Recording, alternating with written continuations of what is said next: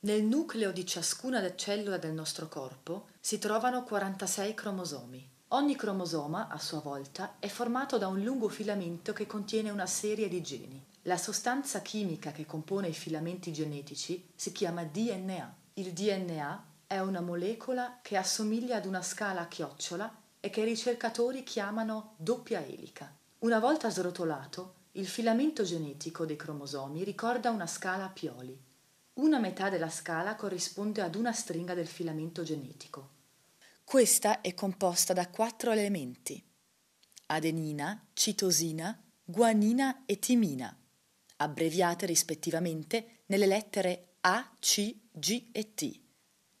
Le lettere che compongono la seconda stringa sono complementari a quelle della prima stringa, come una serratura chiave. A fa coppia con T, mentre G con C. Quindi, se si conosce l'ordine delle lettere di una stringa del filamento genetico, si può facilmente indovinare quello dell'altra.